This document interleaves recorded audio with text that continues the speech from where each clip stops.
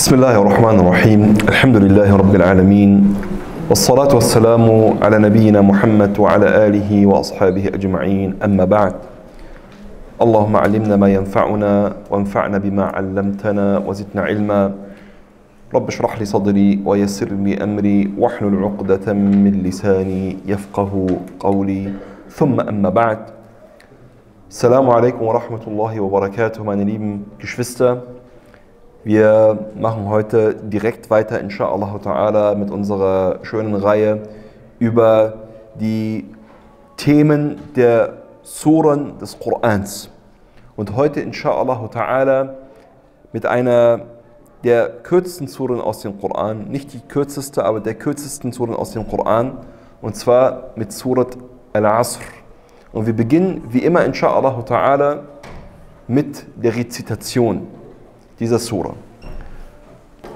أعوذ بالله السميع العليم من الشيطان الرجيم بسم الله الرحمن الرحيم والعصر إن الإنسان لفي خسر إلا الذين آمنوا وعملوا الصالحات وتواصوا وتواصوا بالحق وتواصوا بالصبر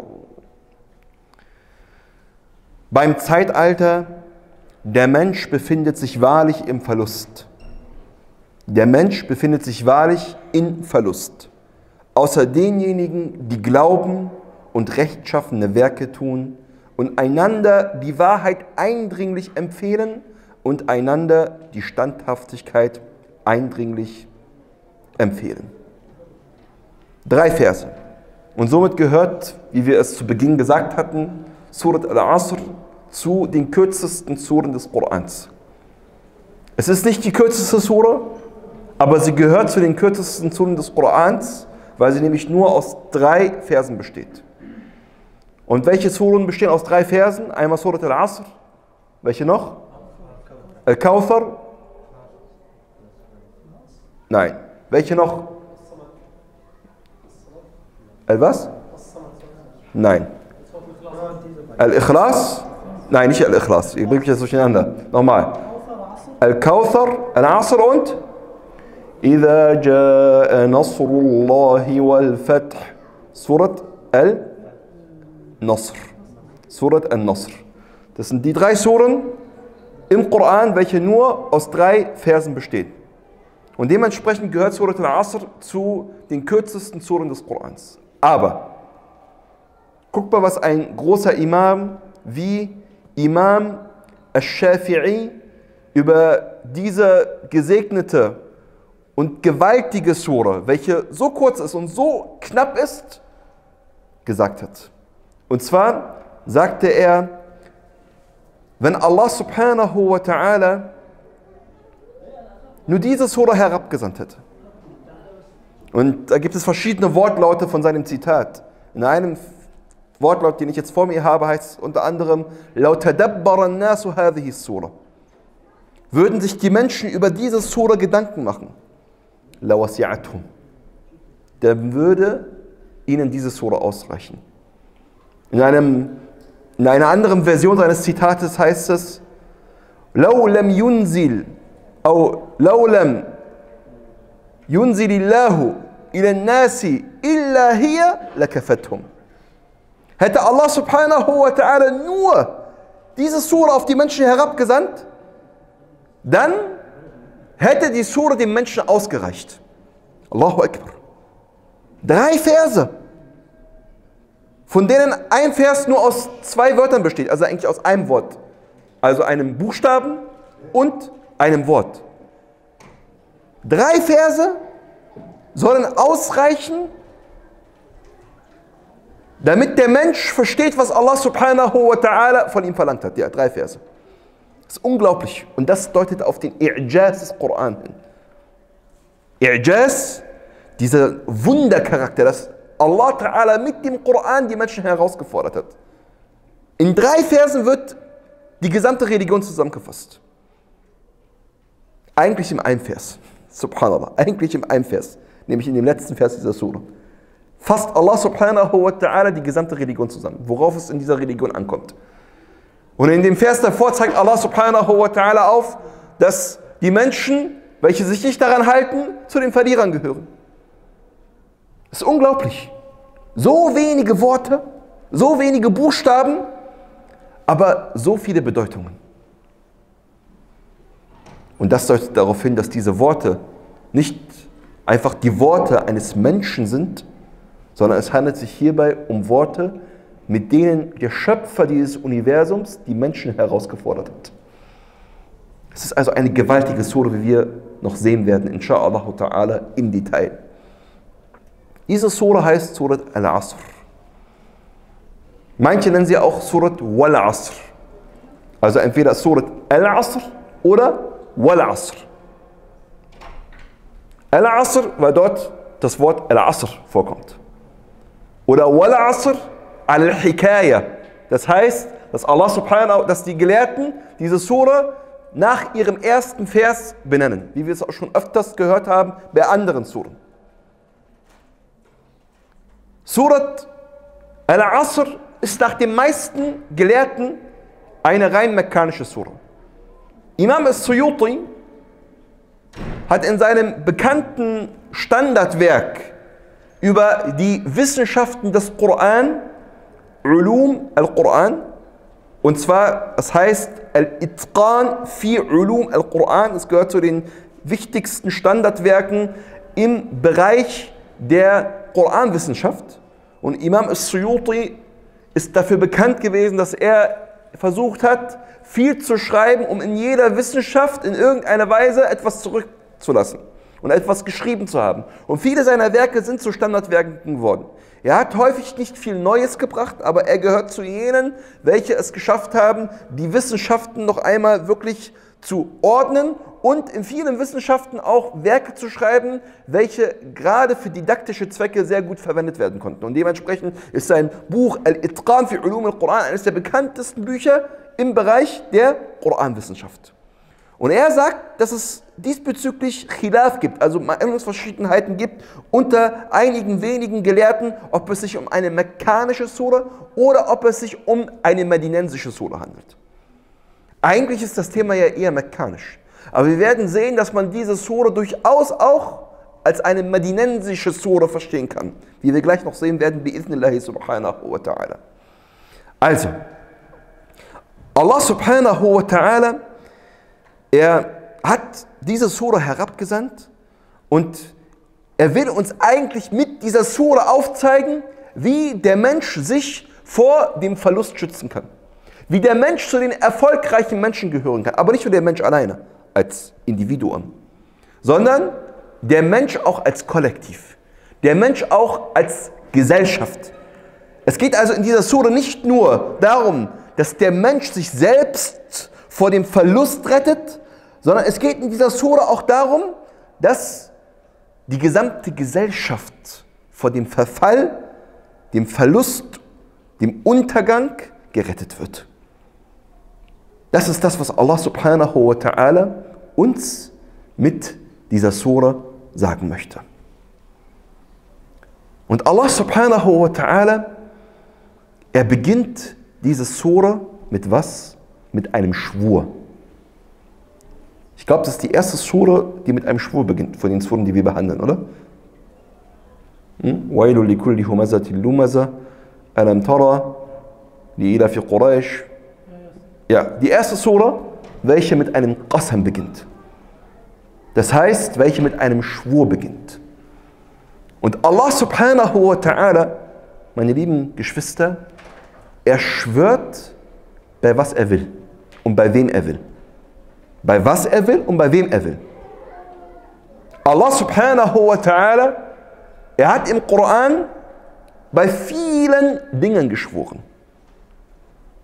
Und auf viele Dinge geschworen. Ich weiß nicht, sagt man auch, man schwört bei einer Sache oder auf beides. Sowohl bei als auch auf eine Sache. Ja? Bei, oder? Bei ist richtig. Ja? Sagt man nicht, ich schwöre auf den Koran. Das ist eher so, ist so Ghetto-Deutsch. Ja?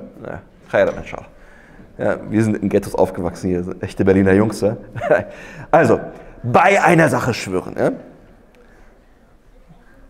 Im Arabischen sagt man yuqsim ala, ja? deswegen könnte man da auch durcheinander kommen. Ja? Ähm, und yuqsim bi. Ja? Und Allah subhanahu wa ta'ala, er schwört bei ganz unterschiedlichen Dingen seiner Schöpfung. Interessant ist, dass aber Allah subhanahu wa ta'ala im gesamten Koran nur bei einer einzigen Person schwört. Bei welcher Person? Bei welcher Person schwört Allah subhanahu wa ta'ala? Wo? Wer weiß es?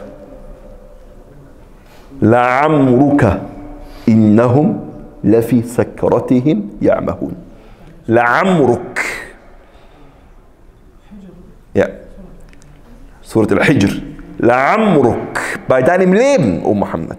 Allahu Akbar. Die einzige Person, bei der Allah subhanahu wa ta'ala im Koran schwört, ist, wer ist unser Prophet sallallahu alaihi wasallam. La'amruk. Innahum lafi sakratihim ya'mahun. Sie sind blind. Ja? Und mit ya'mahun ist nicht gemeint blind im Auge, sondern blind im Herzen. Innahum lafi sakrat. Al-Ama huwa Ama القلوب أما العمي فهو عمى الأبصار لعمرك innahum lafi sakratihim ya'mahun. Bei deinem Leben, in ihrer Trunkenheit sind sie schon völlig blind geworden. Mit ihren Herzen. Sie können zwar sehen mit dem Auge, aber ihre Herzen sind blind, so dass sie die Wahrheit nicht erkennen aus Trunkenheit. So als wären sie betrunken. Jemand, der betrunken ist, der nicht mal richtig sehen kann, der die Orientierung verloren hat. Allah subhanahu wa ta'ala, er schwört bei unserem Propheten sallallahu alaihi wasallam, beim Leben unseres geliebten Propheten Muhammad sallallahu alaihi wasallam. Und wenn Allah auf etwas schwört im Koran, wie hier, dann deutet es immer darauf hin, dass es sich um etwas Gewaltiges handelt. Weil Allah ta'ala, er schwört nur auf gewaltige, bei gewaltigen Dingen. Bei wichtigen Dingen. Weil man schwört, um darauf aufmerksam zu machen, dass es sich hierbei um eine gewaltige Sache handelt. Und Allah Ta'ala kann dementsprechend bei dem schwören, bei dem er will. Und bei, das ist sozusagen Allah Subhanahu wa Ta'ala überlassen. Weil er ohnehin die höchste Instanz ist. Während der Mensch nur beim Höchsten überhaupt schwören darf, nämlich bei Allah Subhanahu wa Ta'ala. Stellt euch mal vor, wir würden auf der einen Seite bei Allah schwören und gleichzeitig bei einem Menschen oder bei einer anderen Sache. Stellt euch mal vor, ich sage im selben Atemzug, ja, ja, Wallah wa hayat abuya. Das ist einfach nur, wie das viele sagen, das sage ich jetzt nicht. Ja? Bei Allah und beim Leben meines Vaters, was mache ich da? Wo ist das Problem? Warum soll ich das als Muslim nicht tun? Ich stelle mal das Leben meines Vaters auf die Ebene von Allah subhanahu wa ta'ala. Und dementsprechend ein Muslim schwört nur bei dem Höchsten. Bei Allah, bei den Worten Allahs. Ich kann beim Koran schwören beispielsweise, das ist möglich. Ich kann sagen, ja, wal Koran. Ja, das ist möglich. Warum? Weil es nämlich, nämlich beim Koran um die Worte Allah subhanahu wa ta'ala handelt. Aber was ich nicht tun darf als Muslim ist, dass ich bei einer Person schwöre. Oder bei einer Sache schwöre. Das ist ausschließlich Allah subhanahu wa ta'ala überlassen, der schwören kann, bei wem er möchte und bei was er möchte. Und dementsprechend sagt unser Prophet sallallahu alaihi wasallam, man halafa bi ghayrillahi faqad ashrak. Derjenige, der bei etwas anderem schwört als bei Allah, der hat Schirk begangen. Das heißt, der hat Allah subhanahu wa ta'ala jemanden zur Seite gestellt. Allah subhanahu wa ta'ala, er schwört jetzt also beim Asr. Asr, das Wort Asr. Asr kommt von Asara. Asr kommt von was? Von Asara. Was heißt Asara? Asara heißt etwas ausdrücken, auswringen. Hm? Deswegen sagen wir auch Asir. Was heißt denn Asir? Saft. Ja? Ich wringe etwas aus, ich drücke etwas aus, ich presse etwas, sodass die Quintessenz rauskommt.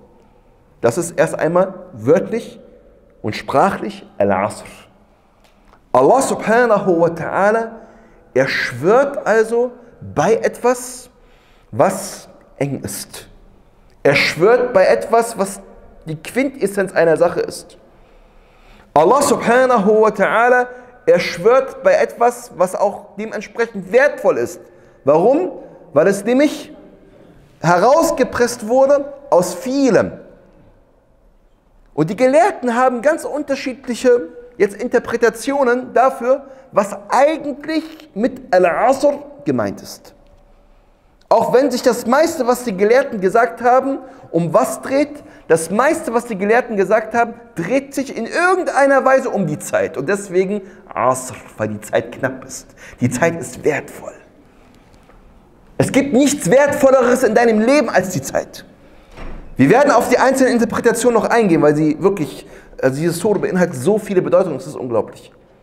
Wir werden auf diese einzelnen Interpretationen gleich noch eingehen. Aber zunächst erst einmal geht es mir darum, darauf nochmal hinzuweisen, wie wertvoll diese Zeit ist, die Allah subhanahu wa ta'ala uns gegeben hat. Unabhängig davon, wie ich jetzt konkrete Asr übersetze, ob beim Zeitalter oder beim Zeitalter des Propheten sallallahu alaihi wasallam, Nachmittag oder das Nachmittagsgebet, unabhängig davon. Es hat immer irgendetwas mit was zu tun, es hat immer irgendetwas mit der Zeit zu tun. Und dementsprechend, mein lieber Bruder, meine liebe Schwester, die Zeit ist wertvoll. Und es gibt einen, der Salaf, der gesagt hat, Ta'allamtu ma'na surati, also Surat al-Asr, min ba'i thalj. Ich finde das eine sehr schöne Anekdote. Er sagte, ich habe Surat al-Asr oder die Bedeutung der Sura gelernt von einem Verkäufer, der Eis verkauft. Nicht sozusagen Eis, wie wir es heute haben, sondern damals ja, mussten sie aus den Bergen und weiß ich woher, weil sie damals auch keine Kühlschränke hatten, keine, äh, es gab keine äh, Tiefkühl, äh, wie sagt man, Truhen, wo man Eis, sage ich mal, griffieren lassen konnte, sondern man musste extra in die Berge gehen oder weiß ich wohin, um dann das Eis dann zu transportieren, damit dann, Allah ob es dann noch vielleicht andere Wege gab, aber auf jeden Fall ja, war es sehr mühselig gewesen, Eis zu transportieren. Und dementsprechend hat man auch Eis verkauft. Und er sagt, ich habe die Bedeutung von Surat al-Asr durch einen Eisverkäufer, also der Eisblöcke verkauft hat, gelernt. Der auf den Markt geht und die ganze Zeit ruft. Erbarmt euch desjenigen, dessen Kapital schmilzt. Sein Kapital ist was? Ist das Eis. Und dementsprechend ruft er die Marktbewohner, sagt zu ihnen, ja, seid barmherzig mit mir, ja, seid gnädig, weil wenn ihr nicht schnell das Eis kauft, dann ist mein ganzes Geld weg. Mein gesamtes Kapital ist weg. Irhamu man yadhubu ra'su malihi. Und dann sagte dieser Mann von den Salaf, sagte, ich weiß nicht, wer das ist, فقلت هذا معنى قوله تعالى إن الإنسان لفي خسر das ist die Bedeutung der Worte Allahs, der Mensch befindet sich wahrlich im Verlust. يمر به العصر فيمضي عمره ولا يكتسب ما ينفعه فهو خاسر. Die Zeit vergeht, wie? Ja? Und er merkt es gar nicht. Sein Eis, sein Kapital schmilzt so dahin und er merkt es überhaupt nicht. Er freut sich, dass er älter wird, jetzt endlich 18, 20, feiert einen großen Geburtstag und er weiß gar nicht, dass von dem Moment an, wo er auf die Welt gekommen ist, er eigentlich am Sterben ist. Er kommt seinem Grab immer näher. Und er macht sich darüber überhaupt keine Gedanken. Und deswegen, subhanallah, ich finde dieses Gleiche so schön mit dem Eisblockverkäufer. Ja? Das ist dein Kapital, dein Leben. Die Zeit ist dein Leben. Und wenn du deine Zeit verplemperst, dann verplemperst du dein Leben.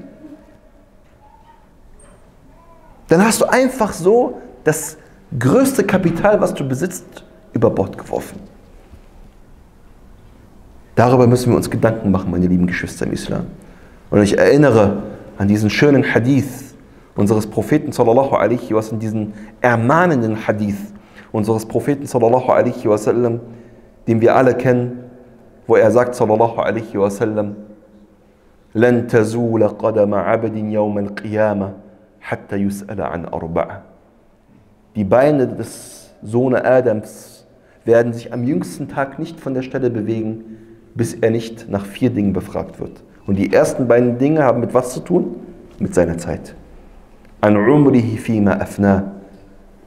Über sein Leben, wie er es verbracht hat. An shababihi. An uns alle hier gerichtet, die hier sitzen, glaube ich fast ohne Ausnahme. Und nach seiner Jugend, was er aus ihr gemacht hat. Und dann die anderen beiden Dinge über sein Vermögen, wie er es erworben hat und ausgegeben hat und sein Wissen, was er damit gemacht hat. Das ist jetzt unser Wissen. Wir wissen jetzt, wir wurden erinnert. Die Zeit, sie schmilzt so dahin. Und dementsprechend lasst uns unsere Zeit nutzen. Wir haben noch Zeit, Alhamdulillah. Lasst uns diese Zeit nutzen, meine lieben Geschwister im Islam.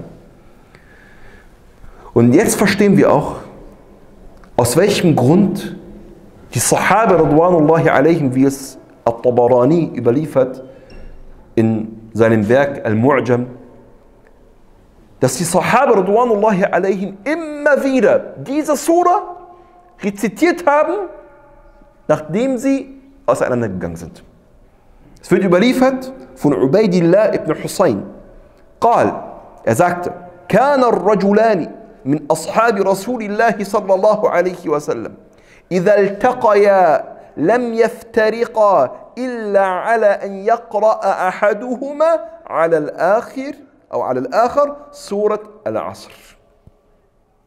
Wenn sich die Gefährten des Propheten sallallahu alaihi wasallam getroffen haben, zwei Leute haben sich getroffen, und die haben sich dann sozusagen wieder getrennt, dann haben sie, bevor sie sich getrennt haben, was gelesen? Und deswegen ist es auch die Sunde, dass man am Ende einer Sitzung Surat al-Asr liest, ja, haben sie immer welche Sura gelesen? Surat al-Asr.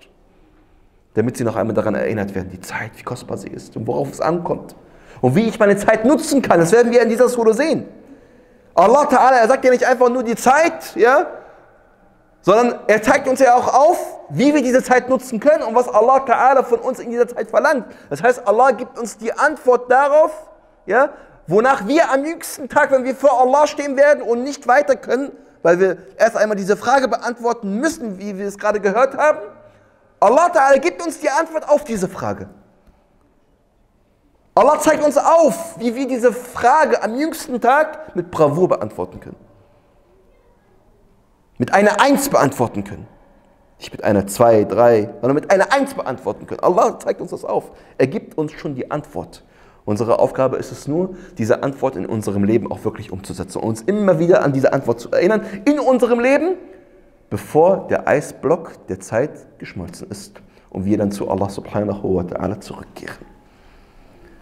Was ist jetzt, meine lieben Geschwister im Islam, konkret mit Al-Asr gemeint? Hier gibt es, wie ich gerade aufgezeigt habe, verschiedene Interpretationen.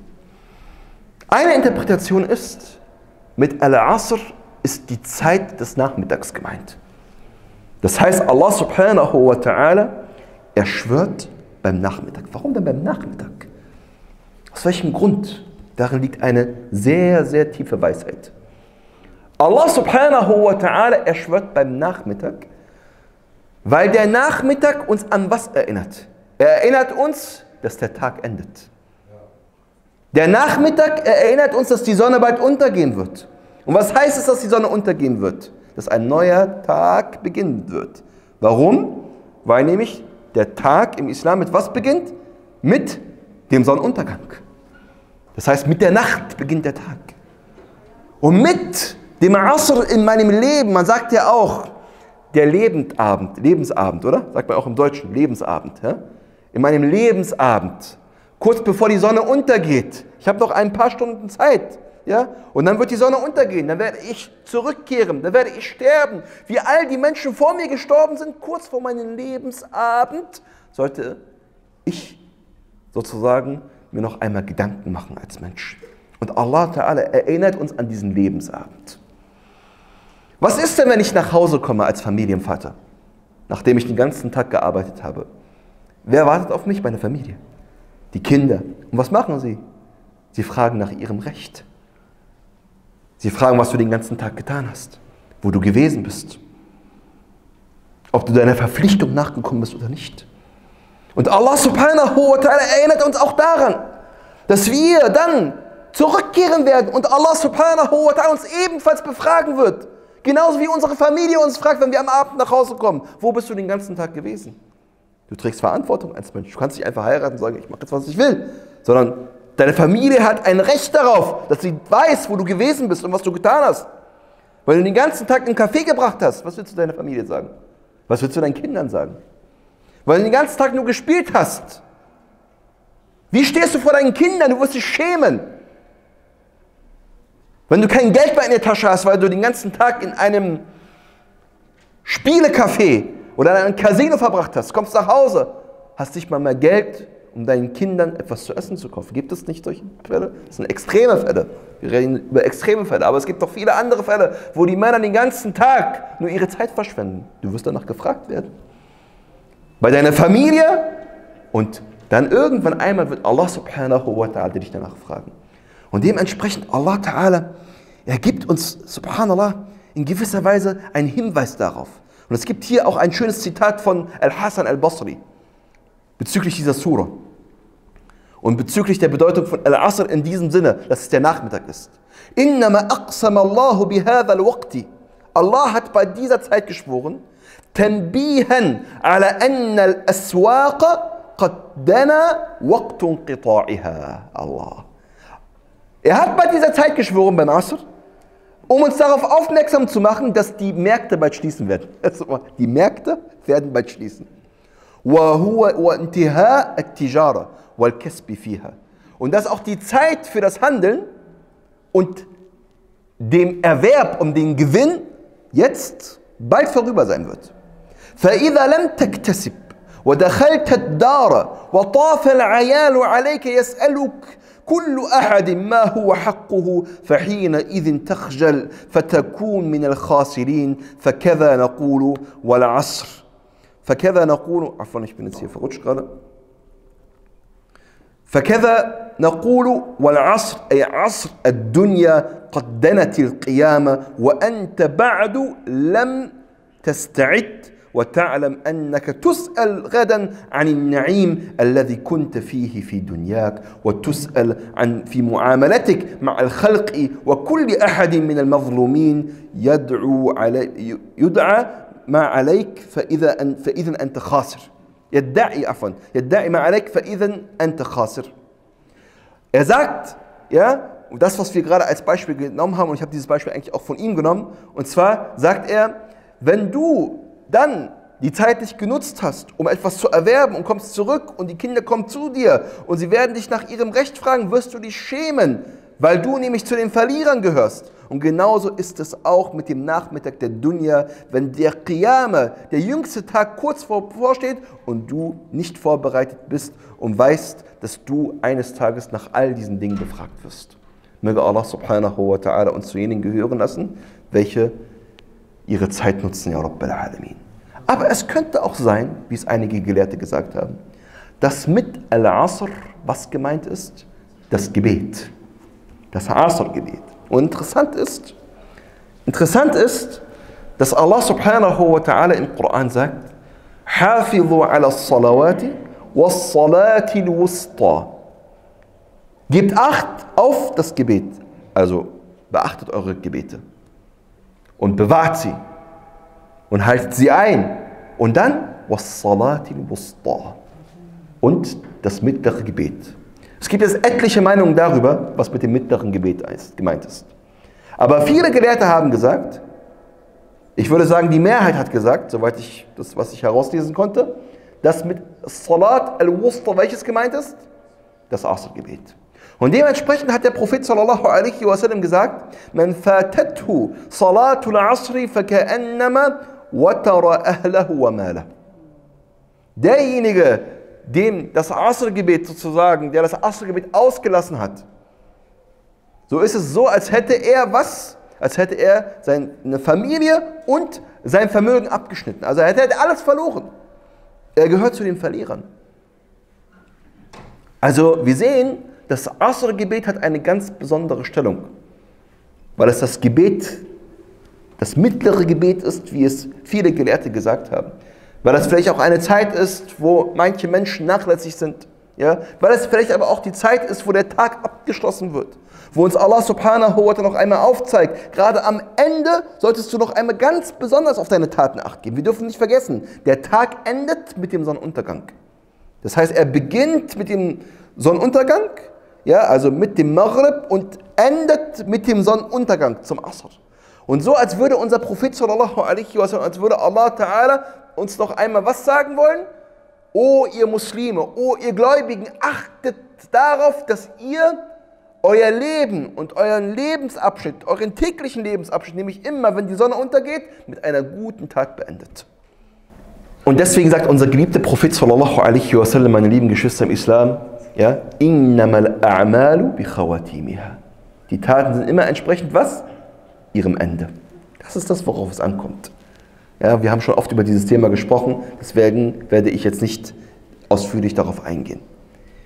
Ebenfalls, wir haben es gerade gehört, Al-Asr könnte auch Zeitalter bedeuten. Welches Zeitalter aber? Welches Zeitalter aber? Von Jil. Asr ist ein Jil. Ja, deswegen sagt man Usur. Ne? Die Generationen, also eine Generation. Welche Generation könnte damit gemeint sein? Die erste. Die erste. Die Generation unseres geliebten Propheten Muhammad sallallahu alaihi wasallam. So als würde Allah Ta'ala bei dieser Generation schwören. Warum? Weil er uns aufzeigen möchte, dass sie das Vorbild für jede kommende Generation sind. Und jeder, wer sich an dieses Vorbild hält, gehört zu den Gewinnern. Und jeder, der sich daran nicht hält, der gehört dementsprechend zu den Verlierern.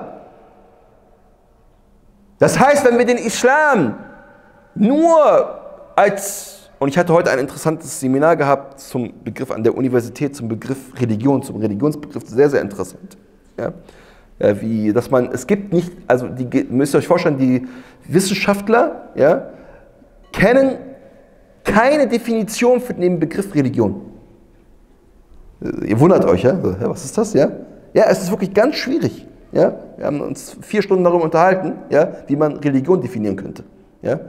Und sind daran gescheitert. Und wichtig ist einfach, ja, dass der Religionsbegriff heutzutage sehr stark durch den Westen geprägt ist. Der Religionsbegriff ist sehr stark durch den Westen geprägt.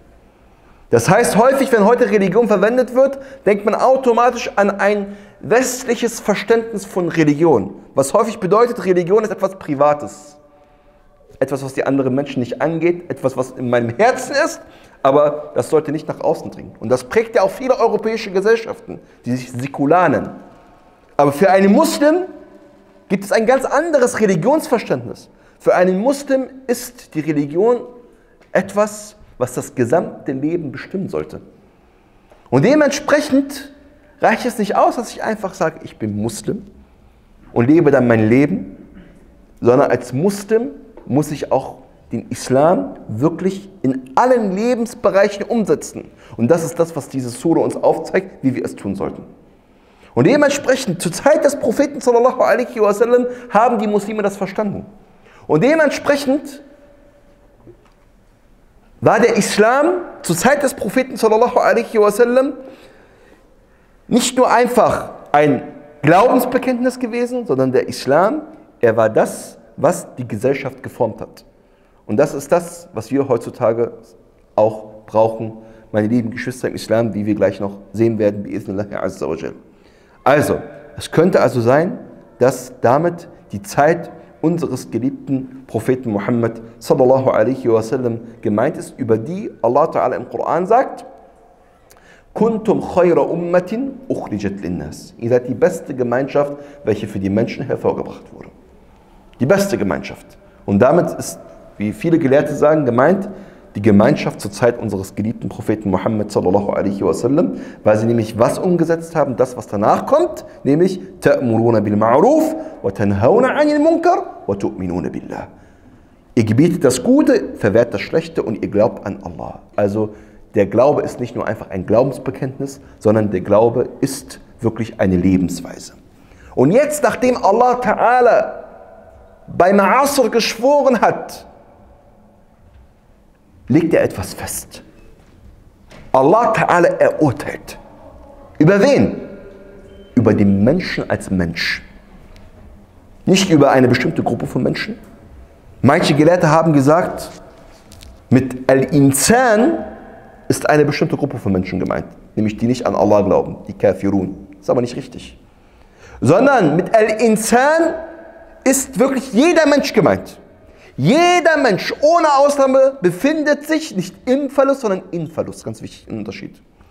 Jeder Mensch ohne Ausnahme, egal ob er Muslim, ob er Christ, ob er Jude, ob er Buddhist ist, egal was.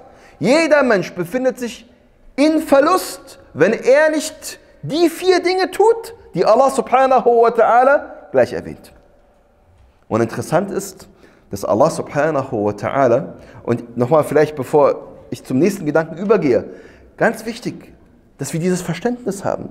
Weil, und wir haben das schon oft angesprochen, häufig ist es so, dass Muslime glauben, alleine, dass ich sage, ich bin Muslim, reicht aus. Nein, es reicht nicht aus.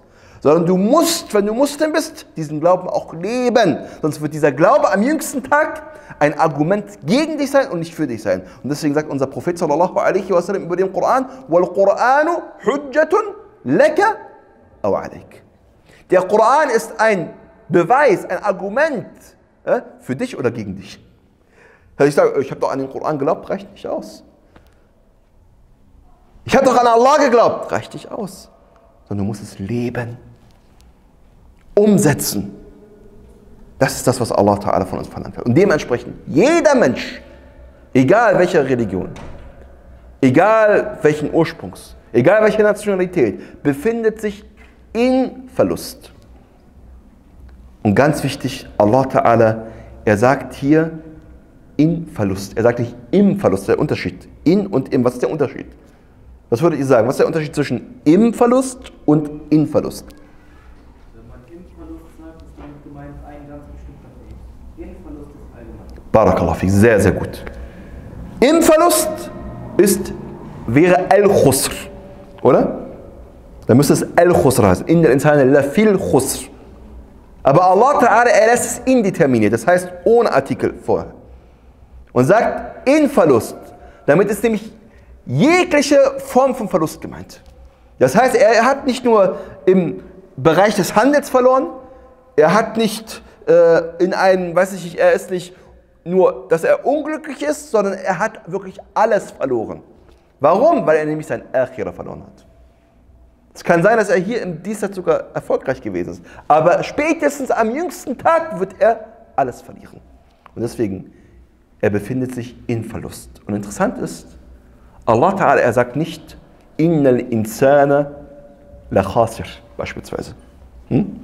Sondern was sagt er? Er sagt, innal insana la fi khusr. Was heißt denn innal insana la khasir? Übersetzt auf Deutsch. Die Menschen sind die Verlierer? Ja, die Menschen oder der Mensch ist Verlierer. Ist ein Verlierer oder ist sozusagen ein Verlierer. La khasir. Okay. Er ist ein Verlierer in einem bestimmten Bereich. Aber Allah sagt, er ist in Verlust. Das heißt, so als würde alles um ihn herum nur was sein Verlust sein. Allahu Akbar. Also er befindet sich wirklich mittendrin. Es ist so, als würde er hier drin sein. Und all das ist Verlust. Guckt euch mal diese harte Aussage an von Allah subhanahu wa ta'ala. Aber Allah ta'ala, er ist ja der Schöpfer der Menschen. Und Allah subhanahu wa ta'ala, es geht ihm nicht darum, dass er einfach nur sagt, die Menschen, sie befinden sich im Verlust, sondern Allah ta'ala, er möchte, dass wir lernen. Er möchte, dass wir es besser machen. Er möchte, dass wir uns vor diesem Verlust schützen. Und dementsprechend zeigt uns Allah subhanahu wa ta'ala auf, wie wir das auch ganz konkret tun können. Und hierzu sagt Allah subhanahu wa ta'ala jetzt, und er nennt vier Dinge. إلا الذين آمنوا وعملوا الصالحات وتواصوا بالحق وتواصوا بالصبر. Außer denjenigen, die glauben und gute Taten tun und sich einander zur Geduld ermahnen, sich einander zur Wahrheit ermahnen und sich einander zur Geduld ermahnen. Guckt mal, was Ibn al-Qayyim sagt über diese vier Dinge. In einem seiner Bücher sagt Ibn al-Qayyim folgendes. Er sagt, es gibt insgesamt vier Stufen. Wer diese Stufen erreicht, der hat die Vollkommenheit des Glaubens erreicht. Die erste Stufe ist Ma'rifatul Haqq, dass ich die Wahrheit kenne. Illa ladhina amanu. Erkenntnis. Ich habe erkannt, dass Allah existiert. Ich habe erkannt, dass Muhammad ein Prophet ist. Ich habe erkannt, dass der Koran Gottes Wort ist. Ma'rifatul Haqq. Illa ladhina amanu. Die zweite Stufe. وَعَمِلُوا الصَّالِحَاتِ Und was ist das? عَمَلُهُ bihi. das heißt, er hat die Wahrheit erkannt und er handelt nach der Wahrheit. Die dritte Stufe.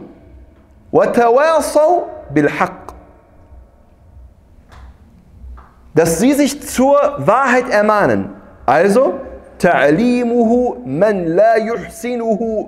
Dass er die Wahrheit, die er verinnerlicht hat, nach der er handelt, auch anderen Menschen beibringt die die Wahrheit nicht erkannt haben, also der Dauer macht.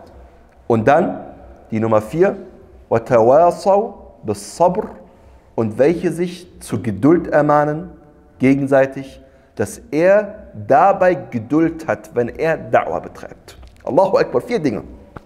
Vier Stufen. Kennt ihr Verse im Koran, in denen diese vier Stufen erwähnt werden? Hintereinander weg.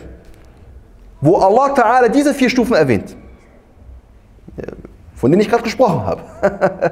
Also die erste Stufe ist, dass ich die Wahrheit kenne. Die zweite Stufe ist, dass ich nach ihr handle. Die dritte Stufe ist, dass ich sie anderen beibringe, die sie nicht kennen. Und die vierte Stufe ist, dass ich dabei Geduld habe.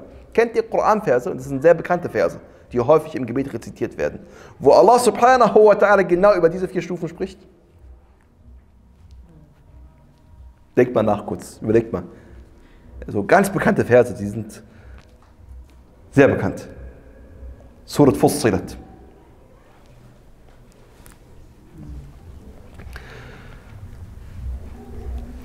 ومن احسن قولا ممن دعا إلى الله وعمل صالحا وعمل صالحا وقال انني من المسلمين weiter. ولا تستوي الحسنه ولا السيئه ادفع بالتي هي احسن فإذا الذي بينك وبينه عداوة كأنه ولي حميم. وما يلقاها إلا الذين صبروا وما يلقاها إلا ذو حظ عظيم. Allahu Akbar. Diese vier Stufen. Genauso wie sie hier beschrieben werden. Was sagt Allah Ta'ala? Und wer sagt bessere Worte? Wer sagt bessere Worte? Als wer, ja Allah? وَمَنْ أَحْسَنُ مِمَّنْ Nummer eins, da'a ila Allah. Macht Da'wah. Hier haben wir die Stufe, Allah erwähnt zuerst die Stufe Nummer drei.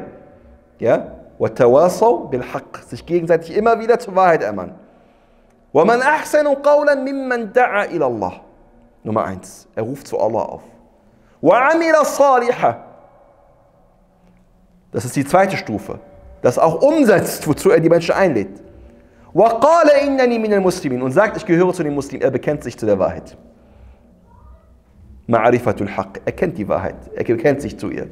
Und dann, auf seinem Weg der Da'wah wird was geschehen? Werden ihn die Menschen anfallen. Und dementsprechend sagt Allah Ta'ala was? وَلَا تَسْتَوِي الْحَسَنَةُ وَلَا السَّيِّئَةُ Und nicht gleich ist eine gute und eine schlechte Tat. إِدْفَعْ بِالَّتِي هِيَ أَحْسَنُ Wäre die gute mit einer, die geschlechtet hat, mit einer guten ab. Sodass dann zwischen dir und demjenigen Feindseligkeit herrschte, plötzlich eine enge Freundschaft entsteht. فَإِذَا الَّذِي بَيْنَكَ وَبَيْنَهُ عَدَاوَةٌ كَأَنَّهُ وَلِيٌّ حَمِيمٌ Das ist Da'wah. Ja? Die Da'wah erfordert was? Geduld. Und dann sagt Allah Ta'ala und zeigt noch einmal auf, was ich hierfür brauche, nämlich dieses وَتَوَاصَوْ بِالصَّبْرِ ja? وَمَا يُلَقَّاهَا إِلَّا الَّذِينَ صَبَرُوا Allahu Akbar. Und nur wer wird das erreichen? Diejenigen, die geduldig sind. وَمَا يُلَقَّاهَا إِلَّا ذُو حَظٍ عَظِيمٍ Und nur diejenigen werden das erreichen, die großes Glück haben, dass sie diesen Weg gehen können. Ja, salam. So unglaublich, wie sich der Koran gegenseitig ergänzt, oder? Wie sich der Koran gegenseitig bestätigt. Das sind die vier Stufen, die wir brauchen, meine lieben Geschwister im Islam. Wir brauchen Iman, der tief ist. Iman, der nicht einfach nur aus Worten besteht, sondern Iman, der verbunden ist mit den Taten. Und wir haben schon tausendmal darüber gesprochen gehabt. Wir wollen nicht den Iman, mit dem ich angebe, ich bin ein Muslim, aber gleichzeitig verhalte ich mich wie der letzte Mensch und glaube, ich bin doch im Paradies, weil ich mich zum Iman bekenne. Nein, das wollen wir nicht. Wir wollen den wahren Iman. Und dementsprechend, guck mal, was die Gelehrten sagen über einen Iman, der ohne Taten ist, also Glaube ohne Taten. فَالْإِيمَانُ بِلَا عَمَلْ كَالشَّجَرِ بِلَا ظِلٍّ وَلَا ثَمَرٍ Allahu Akbar. Der Iman ohne Taten ist wie ein Baum ohne Schatten und ohne Früchte. Was habe ich von einem Baum, ja, der weder Schatten spendet noch Früchte gibt? So einen Baum brauche ich nicht. Ja? Der steht nur im Weg. Ja? Subhanallah, es ist wie ein Gläubiger. Ja? ja? ich bin Muslim, ja, aber er steht nur im Weg, er macht nur Schlechtes. Hm? والعمل بدون الإيمان كالجسد بلا روح ist wie, also der, das Handeln ohne Iman ist wie ein Körper ohne was? Ohne, ohne Seele. Das ist wie ein Toter, ohne Seele. Und dementsprechend beides brauche ich. Amen wa amilus salihat. Und jetzt sagt Allah subhanahu wa ta'ala, das, worauf es dann ankommt, diese dritte Stufe, dass ich auch wirklich den Menschen dann die Wahrheit beibringe. Und ich finde das sehr interessant. Sehr, sehr interessant. Warum sagt Allah Ta'ala und sagt nicht bil haq? Was heißt denn der Unterschied zwischen Tawasaw wa Awsaw? Für die Araber unter uns. Was ist der Unterschied zwischen Tawasaw wa Awsaw?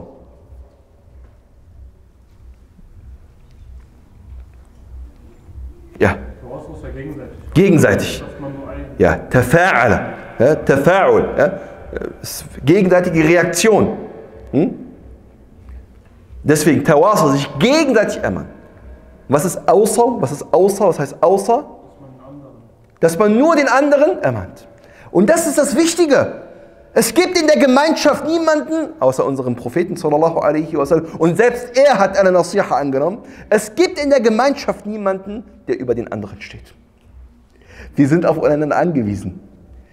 Ich ermahne dich und du ermahnst mich. Ich gebe dir einen Ratschlag heute und du gibst mir einen Ratschlag morgen.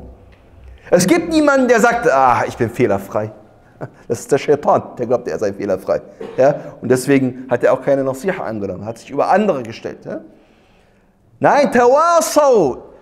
Ich erinnere euch heute hier, indem ich einen Unterricht halte, und morgen erinnert ihr mich. Wir sind Menschen, wir sind schwach.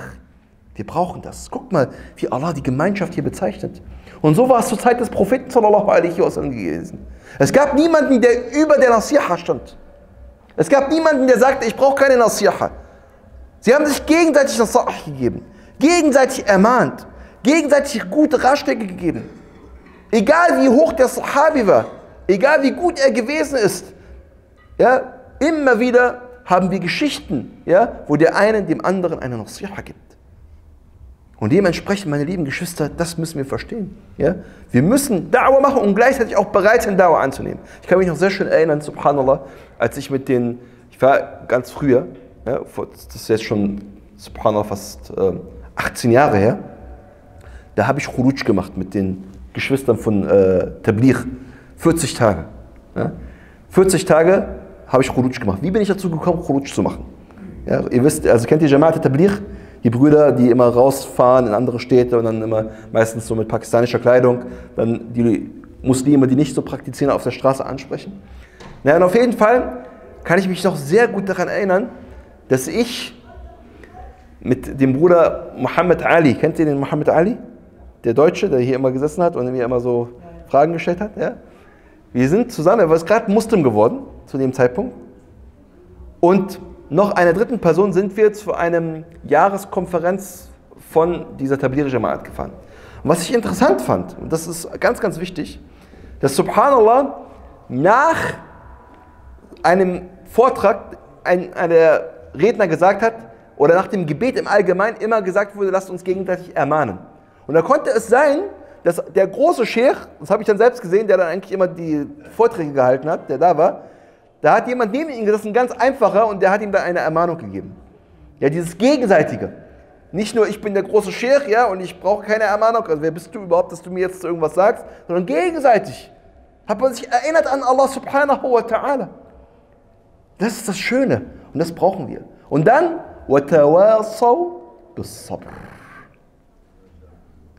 ich brauche diese Geduld auf dem Weg. Man wird schwach, wallahi, man wird schwach. Wir werden alle schwach. Jeder von uns hat mal Phasen, wo er schwach ist. Jeder. Keiner braucht behaupten, ich bin immer stark. Und genau in diesen Phasen brauche ich meinen Bruder, der zu mir kommt und sagt, komm doch mal wieder mit in die Moschee. Gib nicht auf, Bruder. Ich brauche den Bruder, der mir eine SMS schreibt, eine WhatsApp-Nachricht schreibt, mich mal anruft, nachdem ich zwei, drei Monate vielleicht nicht da gewesen bin und der mir sagt, was ist los mit dir? Wo bist du? Ich brauche diese Erinnerung. Weil ich weiß, es wird Phasen geben in meinem Leben, wo mein Iman etwas schwächer wird. Wo ich irgendwann mal keine Lust mehr habe, weil irgendwas vorgefallen ist. Wo ich sage, warum muss ich immer die ganze Zeit hier immer äh, die Verantwortung tragen und weiß ich nicht was. Und gerade in diesen Zeiten, meine lieben Geschwister im Islam, brauchen wir unsere Geschwister, die uns dann daran erinnern, dass dieser Weg ein schwieriger Weg ist. Und deswegen sagt ja Allah Ta'ala in den Versen in Surat Fussilat, وَمَا يُلَقَّهَا إِلَّا ذُو حَظٍ عَظِيمٍ und nur jemand, der wirklich Glück hat, gewaltiges Glück hat, der wird diesen Weg auch weiterhin gehen können. Ja? Der wird diesen Weg auch wirklich weiterhin gehen können. Und wenn du gute Brüder hast, gute Schwestern hast, die wirklich Freunde sind, dann hast du Glück gehabt. Warum? Weil sie dich immer wieder an diese Geduld auf dem Weg erinnern. Und wir wissen, und das haben wir auch schon oft erwähnt gehabt, und damit schließen wir auch ab, inshallah ta'ala, dass es viele Geschwister gab, die aktiv waren. Viele Geschwister. Jahrelang aktiv waren. Viel getan haben und dann plötzlich aufgehört haben, weil sie keinen Sabr hatten. Sie hatten nicht diese Geduld. Möge Allah subhanahu wa ta'ala uns zu jenen gehören lassen, welche immer wieder diese Geduld aufbringen. Möge Allah ta'ala uns Geschwister schenken, die uns immer wieder an die Wahrheit erinnern. Möge Allah subhanahu wa ta'ala uns Geschwister schenken, die uns immer wieder an die Geduld erinnern diesem Weg. Ja, und ich, verzeiht mir, ich möchte noch an ein Ereignis erinnern, inshallah ta'ala, aus der Zeit des Propheten sallallahu alaihi wasallam, wo sogar Sahabe in schwierigen Situationen, wo sie die Geduld verloren haben, erinnert wurden von anderen Sahabe. Und zwar bei der Schlacht von Uhud. Bei der Schlacht von Uhud, als, soweit ich weiß, war es Abdullah ibn Hiram gewesen, der Vater von Jabr ibn Abdullah. Als sich das Gerücht breit gemacht hat, Qutila Rasulullah sallallahu alaihi wasallam. Der Gesandte Allah sallallahu alaihi wasallam ist gestorben. Oder einige Sahaba sogar, nicht Munafiqun, Sahaba. Also aufrichtige Muslime, das Schlachtfeld verlassen haben und flüchten wollten, weil sie sagten, es ist vorbei. Was hat in diesem Moment Abdullah ibn Haram oder Anas ibn Nadr, einer von beiden, ich bin mir nicht ganz sicher, was hat er zu ihnen gesagt? Wo geht ihr hin? Sie sagten, Qutila Rasulullah, der Gesandte Allah ist getötet worden. Woraufhin er sagte, warum wollt ihr dann nach ihm noch leben? Mutu ala ma mata alayhi Rasulullah sallallahu alaihi wasallam. Sterbt so, wie der Prophet sallallahu alaihi wasallam gestorben ist. Allahu Akbar. Ja? Sie hätten fast Dunya und Akhira verloren, hätten sie nicht ihren Bruder gehabt, der sie erinnert hat. Manchmal brauchen wir das. Momente, wo wir jemanden brauchen, der uns erinnert und sagt, wach auf, das ist der Weg und der Weg ist steinig. Er ist nicht einfach, der Weg ist steinig. Möge Allah subhanahu wa ta'ala uns auf diesem Weg festigen. Möge Allah subhanahu wa ta'ala uns zu jenen gehören lassen, welche diese vier Stufen in ihrem Glauben erlangen. Möge Allah subhanahu wa ta'ala uns davor bewahren, zu den Verlustreichen zu gehören, uns vor dem Verlust bewahren. Möge Allah subhanahu wa ta'ala uns immer unsere Zeit im Guten nutzen lassen. Amin ya Rabbil Alamin. Ich danke euch, meine lieben Geschwister, für eure Aufmerksamkeit. Assalamu alaikum wa rahmatullahi wa barakatuh.